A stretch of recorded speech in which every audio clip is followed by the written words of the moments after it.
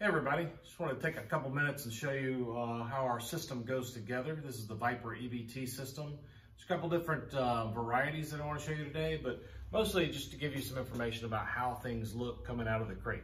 So you'll get this system, it'll look like this, basically. Uh, it will not be on casters just yet, you'll have to do that, but this is the system itself. There's a structure, there's a mount for the computer up here, a mount for the camera. Um, and so I'm just gonna push this off to the side. We've got our other system set up here. So as you get that system, you'll have a box that comes with it. There's a series of casters in there with some screws to put those in. Make sure you put those in. If you want to have that accessibility, that is an option for you. Um, there is a, uh, a wireless keyboard and mouse for initial setup if you need to do some things to it. It should be ready to go out of the box, plug and play, but this is in there for making any configuration. Makes it a lot easier than having to get into the system itself.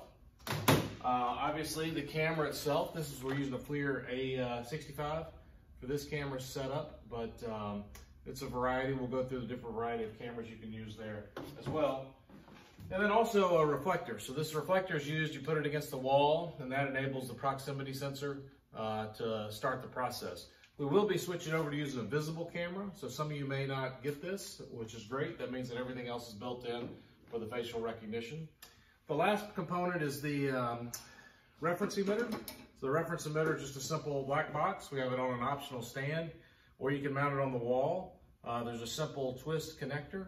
So basically you get a, a section of um, wire that comes with it with a quick connector on it. You plug it in and you let everything go there. We would advise, as with any thermal imaging system, that you wait 30 minutes before uh, doing any analysis once they start up. And so then it's simply a matter of going through the process of everything set up, ready to go, and you'll get the good uh, signal go and no go uh, based on the uh, measurement or reading that you're getting in the field of view. We'll take a couple more uh, videos and show you what's actually going on in the software. That's the physical setup of the system. Again, the computer and monitor are in a separate box. They simply hook onto the VESA mount on the system itself. You put the camera on and everything else is ready to go. Thanks, hope that's helpful. Just the connection on the back of this uh, computer. So the computer and monitor come together as one. All you have to do is loosen these two screws, slides right into there and locks into place. So then once you have that, your VESA mount's good to go. The same with the uh, camera itself. It's gonna hook up uh, ethernet there and then it screws onto this adjustable um, mount. For the reference emitter, this is the reference emitter cord that comes out uh, that will end up coming out of the bottom down there. So just be a quick connector. And then you have this plug that goes in straight here. So it's a nice and easy connection. You shouldn't have to open this at all. All this is physically doing is warming up that box to give you a, a reference, a known reference, so that when you look in your field of view, you have a, a spot here. So what we're gonna do is you're actually gonna move and you're gonna put the smaller box here on top of this box so it's always in the field of view. I'm gonna take a quick second to just show you guys how to set everything up when it comes out of the box. You turn on the computer, which is on the back of the uh, monitor itself. You double click the ViperVision icon. It'll come up um, into a preset configuration that we've put in there for you, which should take care of everything straight out of the box. Uh, if you have an optional light tower and um, uh, alarm, it will go off immediately when you first start. Sorry about that. And then everything comes in. Um, so the first thing you'll notice is that uh, I can move my mouse anywhere on the field on the screen and it'll tell me the temperature. Obviously I'm not 106 degrees. We wanted to show you that on purpose. Um, but uh, as we do that, um, you notice I cannot click on anything. So we have to log in.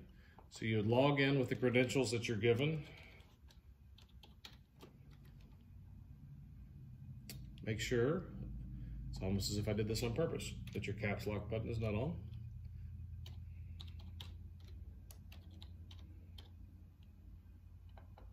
Okay, once you log in, now I can move some things around. You'll notice if I click on the screen, I can use this button. That'll allow me to move these boxes and resize the boxes however I want to. You also notice that I have in the field of view a reference emitter. So what we want to do is we want to move this spot over there. This is going to help us compensate for any changes that might be going on in the field of view or drift in the camera. Now we did just crank this camera up, so initially uh, you need to wait 30 minutes before you do anything. But I wanted to show you just how important that is. You'll notice my temperature dropped down to 96. Once this camera gets going, is uh, running about 30 minutes or so, uh, everything should be back and equilibrated to uh, a more accurate body temperature. But uh, this just shows the power of that reference emitter. Even when it comes right out of the box, it's gonna pull that calibration back into where it needs to be. So everything should be set up uh, and good to go. So if you have that, you've done everything, just to give you an idea, we'll show you. Um, how the, uh, the process goes. So I've started the initial uh, alarming sequence. It goes through, processes, gives me a green light. Everything's good to go.